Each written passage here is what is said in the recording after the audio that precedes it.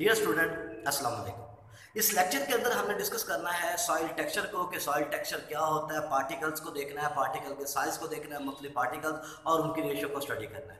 جب ہم soil texture کی بات کرتے ہیں، ہم کہتے ہیں relative proportion of soil particles soil particle کی ریلیٹیو پرپورشن اور ان کے size it mean relative proportion of soil particle and the size of soil particle is called as soil texture اب جو سوائل جو ہے ویدرنگ فارم ٹیکسچر جو پایا جاتا ہے سوائل کا، اس میں فریگمنٹ کا جو سائز ہوتا ہے، وہ تقریباً جو ہے والیوم کے 45 سے 50 پرسنٹ تک موجود ہوتا ہے۔ ویدرنگ آپ کو معلوم ہے that process in by soil is form تو ویدرنگ جو ہے، وہ کیمیکلی بھی ہو سکتی ہے اور مکینیکلی بھی ہو سکتی ہے۔ اب سائز آف سوائل پارٹیکلز کی بات کرتے ہیں تو اس میں مختلف قسم کے سوائل پارٹیکلز ہوتے ہیں۔ پیدا اس میں موجود ہے جسے ہم گریول ٹائپ کہتے ہیں۔ یہ کمپوزڈ ہوتا ہے لارج منرل پارٹیکل یہ بڑے پارٹیکل پر مشتمل ہوتا ہے اور اس کا سائز جو ہوتا ہے وہ دو نینو میٹر تک ہوتا ہے۔ اور یہ جو گریول سائل ہوتی ہے this is not good for plant vegetation تو پلانٹ کی جو ویجیٹیشن ہوتی ہے گروتھ کے لیے یوزفل نہیں ہوتی۔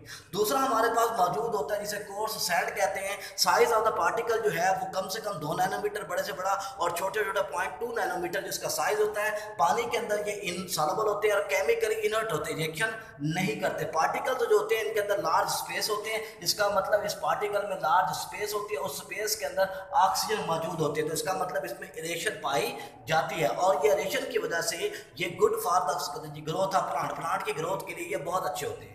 تیسری کیٹیگری سی موجود ہے، جسے ہم سلٹ کہتے ہیں۔ سلٹ میں سائز جو ہے، وہ تقریباً جو ہے، وہ پوائنٹ ٹو نینو میٹر سے لے کر زیرو پوائنٹ ٹو جی point zero zero two nanometre تک کیا ہوتا ہے، یہ موجود ہوتا ہے۔ یہ راک پیگمنٹس ہوتے ہیں، یہ راک سے ٹوٹتے ہیں، یہ ریٹارڈ دا واٹر فلو یہ واٹر مومنٹس کو گزرنے نہیں دیتے، آپس میں کیا ہوتے ہیں؟ جڑ جاتے ہیں، بعض دفعہ کیا کرتے ہیں؟ ریکشن بھی کر لیتے ہیں، تو یہ بھی ویجیٹیشن کے لیے یوزفل نہیں ہے۔ تیسری کیٹیگری موجود ہے جسے ہم فائن سینڈ کہتے ہیں، پتلی ریت کہتے ہیں، جس کا سائز جو ہے پارٹیکل کا، وہ پوائنٹ ٹو سے لے کر zero point zero two nanometre تک اس کا سائز ہوتا ہے۔ اس کی جو پراپرٹیز ہوتی ہیں، وہ کورس اور سین سے ملتی جلتی ہوتی ہیں۔ اور یہ کیا کرتے ہیں؟ آلسو کہتے ہیں جی سلو واٹر فلو اس میں واٹر فلو بھی کیا ہوتا ہے؟ سلو ہوتا ہے۔ اور یہ بھی پلانٹ کی گروتھ کے لیے سموٹ کچھ حد تک کیا ہوتے ہیں؟ فیوریبل ہوتی ہیں۔ پھر ہم بات کرتے ہیں کلے سال کی جسے کلے بھی کہتے ہیں، سال پارٹیکل کا سائز جو ہے، وہ کیا ہوتا ہے؟ لیس دین زیرو پوائنٹ کہتے ہیں zero zero two nanometre سے اس کا سائز کیا ہوتا ہے؟ وہ کم ہوتا ہے۔ یہ دوسری سائل سے کیا ہوتے ہیں ڈفرنٹ ہوتی ہے فزیکلی بھی اور کیمیکلی بھی۔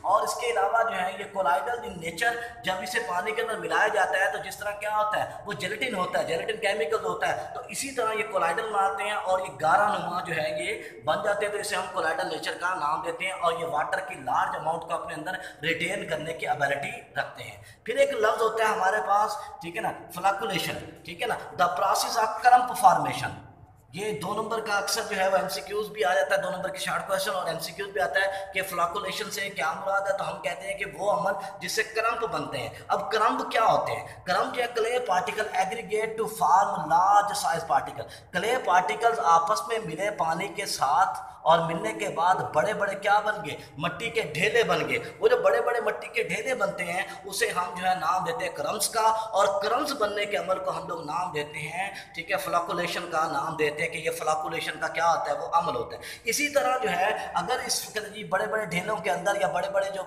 بال بن جاتی ہیں، ان کے اندر سوڈیم وغیرہ موجود ہو، تو وہ ان کو کیا کرتا ہے ڈس انٹیگریٹ کر دیتا ہے، ان کو توڑ دیتا ہے، پھر ہم اسے ڈی فلیکولیشن کا نام بھی دیتے ہیں۔ اور یہ سارا کچھ جو ہے، وہ کلے سال کے اندر کیا ہوتا ہے، یہ موجود ہوتا ہے۔ نیکسٹ کیٹیگری موجود ہے، اسے ہم لوم کہتے ہیں لومی سائل کہتے ہیں اور سائل ان وچ سینڈ سلٹ ٹھیک ہے نا clay particle present in more less equal amount ایسی سوائل جس میں جو ہے، وہ سینڈ پارٹیکل ہو گئے، یا جی سلٹ پارٹیکلز ہو گئے، یا اس کے اندر جو ہے کلے پارٹیکل جو ہیں، وہ برابر میں مقدار میں پائے جاتے ہیں تو ہم اسے نام دیتے ہیں کس کا لومی سوائل یا لوم سوائل کا نام دیتے ہیں۔ اس کی پھر مختلف کلاسز ہوتی ہیں۔ ان میں سے پہلی کلاس جو ہے وہ کلے لوم ہے۔ اس کا مطلب یہ ہے کہ اگر اس لوم کے اندر کلے کی کوانٹٹی زیادہ ہوگی تو وہ کلے لوم ہو جائے گی۔ اس طرح سینڈی لوم، اگر اس لوم کے اندر سینڈی پارٹیکل یا سینڈ پارٹیکلز کی کوانٹٹی زیادہ ہو جائے گی تو ہم لوگ اسے نام دے دیں گے کس کا؟ سینڈی لوم کا۔ اور اسی طرح جو ہے سلٹ لوم، اگر اس میں جو ہے وہ سلٹ کی مقدار جو ہے لوم کے اندر وہ باقی کلے اور جو ہے وہ سینڈ سے زیادہ ہو جائے گی تو ہم اسے سیلٹ